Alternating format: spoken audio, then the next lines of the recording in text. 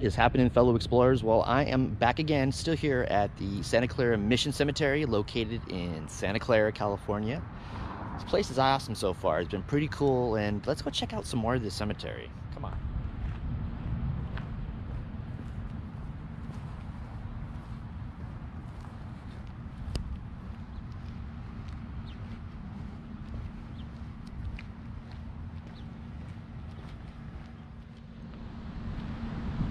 Here's an interesting one. The Davies family, Hannah and Edwin. Edwin was an interesting character. He was born in Maine. He arrived in California in 1854 and established a starch factory near San Leandro in 1855. The same year, he settled in Santa Clara. In 1856, he opened the Santa Clara Machine Shop and ran it for several years before building the three-story Davies Machine Shop on the corner of Jackson and Liberty Streets. He invented several agricultural implements, as did his brother L.B. Davies in Ohio who invented the cow catcher on a locomotive. Edwin wanted to make sure that people would always know that he was an inventor and machine shop owner, so he had a hammer, wrench, chisel, and other tools carved onto his ornate gravestone. He was very proud of his world travels and that he never used a particular particle of tobacco or drank a glass of liquor in his life. Edwin Davies with his wife, Hannah,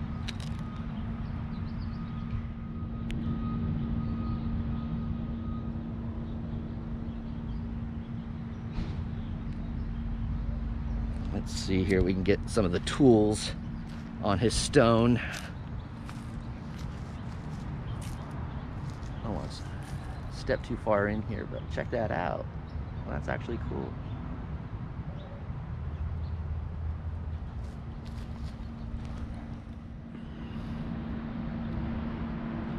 And this beautiful tile work go up the stairs and the beautiful tile work leading up to the main stone Interesting.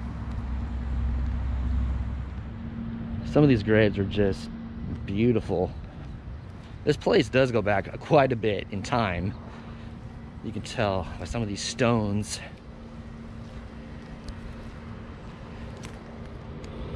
Silent is the last name here. Very interesting.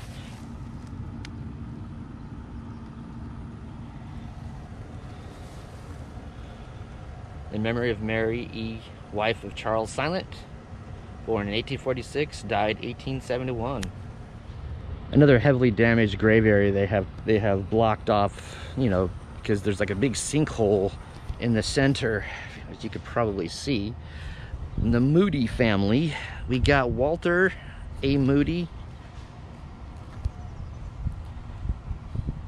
Says, here rests a woodman of the world. Died in uh, 1910. And here is Barton Moody.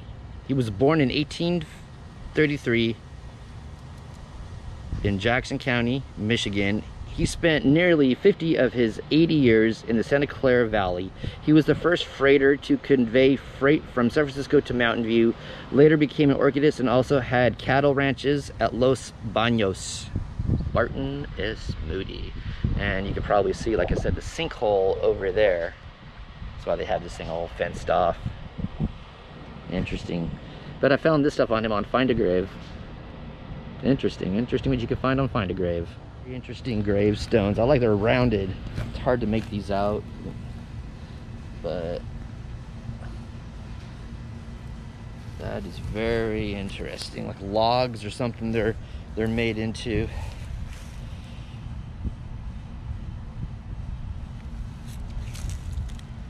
There you go.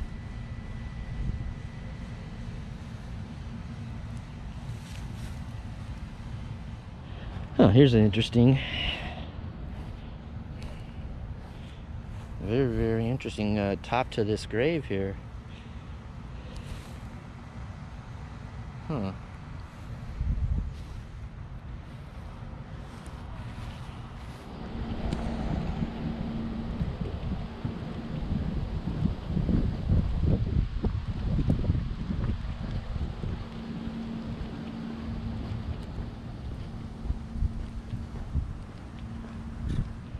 I just noticed this as I was walking by the Graham area. Helen Wheeler. She was a poet, they said. She was from Bowling Green, Kentucky. I just uh, noticed this on the way by. And it says, buried next to her is her husband, William. And his just says, Proud American. He's got some kind of tool inscribed in the top of this. Must have been somebody handy with his hands. Here is the stone for a Captain Harry Love. He was an American folk figure, law officer.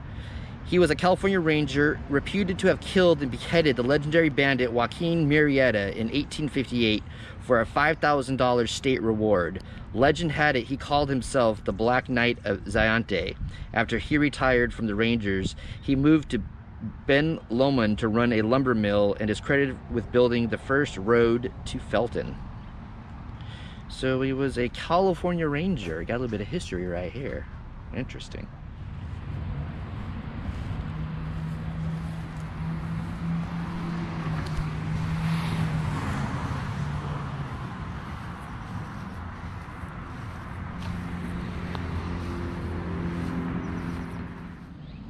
Thought this stone was pretty interesting. William Cox, he was a landowner in the area. He was one of the larger growers of grain and hay for this area.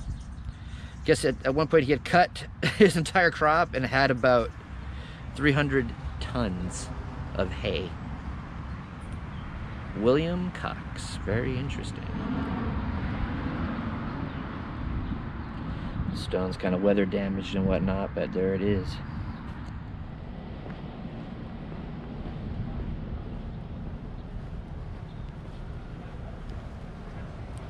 And here's the little chapel area in the center of the cemetery. Very, very interesting. Very, very beautiful. Well, here's the mausoleum here. This looks like it would be a pretty cool uh, explorer, but due to what's going on in the world, they seem to have it closed right now. So gates are closed and there's a thing saying that it's closed on the gate there. So I would have loved to have been inside this thing and check it out. That's maybe a different day for a different video. Here is an area dedicated to war veterans of Santa Clara. Oh, you can kind of see the plaque. American Legion number 419 1932 this plot was donated by the city. Oh there you go. Here's the flagpole. But at the top there's no flag which usually there is a flag in a area dedicated to veterans. Seeing a lot of stuff. People in world war ii world war one korea. Here is john david. He, had, he got the bronze star and the purple heart wow. That is uh, something.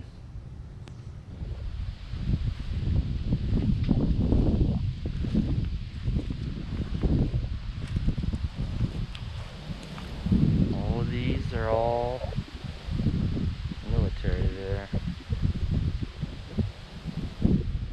Walking to the back of this veterans area the the the veterans are the graves are getting older and going further back. I have found a grave of somebody ernest wright. He was in the spanish american war. And here is albert morin. There you go world war one veteran.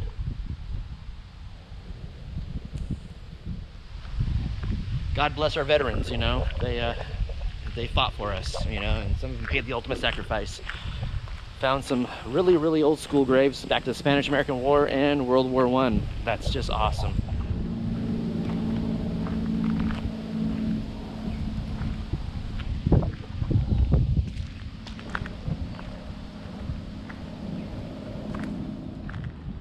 well that wraps it up for this video thank you all so much for watching once again I found some i found a lawman i found some war veterans very interesting interesting day here at the uh, cemetery here Alright guys, if you're new to this channel, please hit the subscribe button, hit the bell icon, and if you are digging this video, please give it a thumbs up. Thank you again, and I'll talk to you soon.